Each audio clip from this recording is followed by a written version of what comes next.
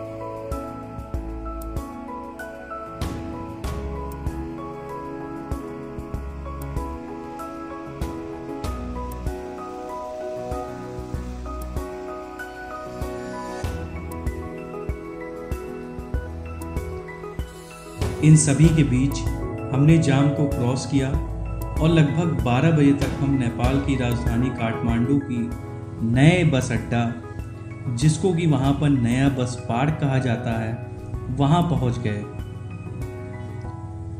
बस अड्डा काफ़ी बड़ा और सिस्टमैटिक था।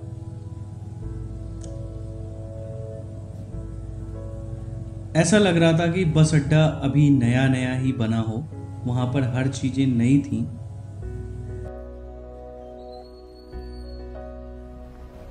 इसके बाद हम लोगों से पशुपतिनाथ मंदिर के बारे में पूछते हुए बस अड्डे से बाहर निकले और सड़क की दूसरी तरफ़ से टैक्सी करके पशुपतिनाथ मंदिर की तरफ़ आगे बढ़ने लगे। पशुपतिनाथ मंदिर के लिए बस पार्क से जो टैक्सी मिली, उसने हमसे 20 नेपाली रुपए लेकर पशुपतिनाथ मंदिर तक पहुँचा दिया। क्योंकि मैं अपने दो और साथियों के साथ गया था तो हम तीनों ने ये डिसाइड किया कि हम आज पशुपतिनाथ मंदिर घूमेंगे और उसके बाद रात को आराम करके अगले दिन नेपाल की और जगह को देखेंगे। और हमने ऐसा ही किया। हमने पशुपतिनाथ मंदिर क्रॉसिंग के पास में एक श्रद्धा रेसिडेंसी नाम का होटल लिया। जो कि हमें एसी रूम तीन लोगों के लिए मात्र दो हज़ार रुपये में दो, माफ़ कीजिएगा, दो हज़ार नेपाली रुपीज़ मतलब लगभग बारह सौ पचास इंडियन रुपीज़ में मिल गया। क्योंकि मंदिर पाँच बजे खुलने वाला था और हम एक बजे तक होटल में चेक इन कर चुके थे, हमने नहा धोकर थोड़ा आराम किया और फिर मंदिर की तरफ़ निकल पड़े।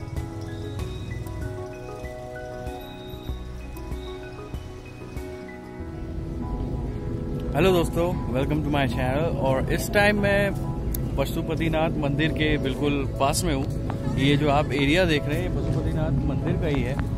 और यहाँ पे अगर मैं आपको दिखाऊँ तो काफ़ी शांति यहाँ पे और ग्रीनरी है काफ़ी, मैं देख पा रहा हूँ. यहाँ पे देखिए, नेपाली में कुछ लिखा हुआ है. पशुपतिनाथ करके. और अब आगे अंदर जाके देखते हैं कि क्या रास्ता है और कहाँ से मंदिर के दर्शन कर सकते हैं, जो मेन मंदिर है। इधर से अगर आप देखेंगे तो अंदर जो है जंगल टाइप का दिख रहा है। तब से आपको सामने का दिखाता हूँ मैं व्यू काफ़ी शांत है और काफ़ी जो है यहाँ पे शांति है। ग्रीनरी है नेचुरल मेरे बगल में आप देखेंगे यहाँ पे गार्डन बना हुआ है, काफ़ी खूबसूरत गार्डन है। तो दोस्तों, जैसा कि आप देख सकते हैं, इस समय हम लोग मंदिर में ही अंदर हैं और यहाँ पे मैंने देखा एक बहुत ही अच्छी सुविधा है। अगर आप मंदिर जा रहे हैं दर्शन करने तो आप जूते चप्पल यहाँ निःशुल्क जमा कर सकते हैं। और यहाँ से बस मंदिर कुछ ही दूरी पे है। मैं आपको दिखाना चाहूँगा कि जब आप जूते चप्पल यहाँ जमा करते तो आइए आपको दिखाता हूँ अंदर से मंदिर कैसा लगता है। ये है शिवलिंग। ये यहाँ पे मंदिर के पास ही ये शिवलिंग है। इसकी भी यहाँ पे लोग पूजा करते होंगे। जैसा कि आप देख सकते हैं। और यहाँ पे एक छोटा सा कुआँ मुझे नज़र आ रहा है। कुआँ टाइप का। ये क्या है? ये भी माफ़ कीजिएगा ये भी शिवलिंग है।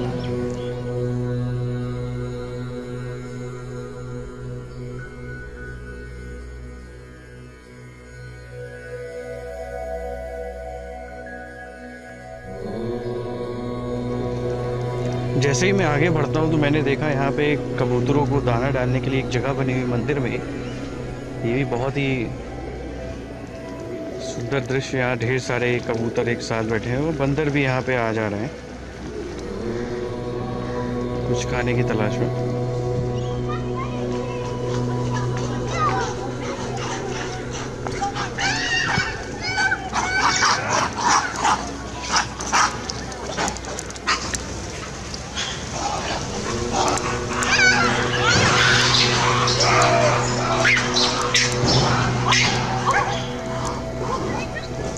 अभी बंदरों ने तुरंत तुरंत से हमला किया एक दूसरे के ऊपर।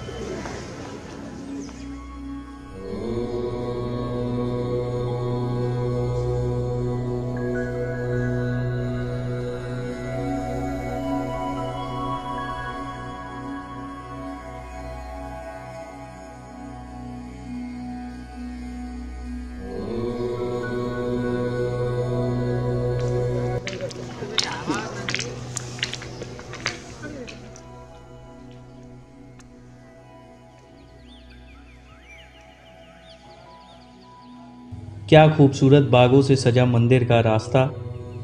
चारों तरफ़ पहाड़ों से घिरा शहर काठमांडू। और उसमें भोले बाबा के मंदिर के निकट ये गार्डन और पार्क, बस मानो मन को लुभा लेने वाला दृश्य था।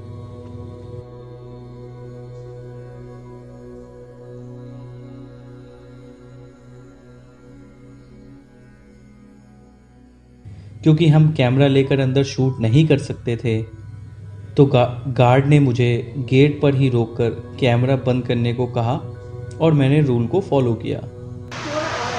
तो दोस्तों अभी इसको मेरी किस्मत कह लीजिए अभी तुरंत से बारिश हुई है यहाँ पे। और बारिश के बाद ये और खूबसूरत लगने लगा है मंदिर का जो ये प्रांगण है। उसके बाद हमने भोले बाबा के दर्शन किए। और वापस आकर ये डिसाइड किया कि इतना लंबा सफ़र से सब थक चुके थे तो होटल जाकर आराम करके दूसरे दिन फिर नेपाल घूमने की प्लानिंग करेंगे। और फिर हमने ऐसा ही किया।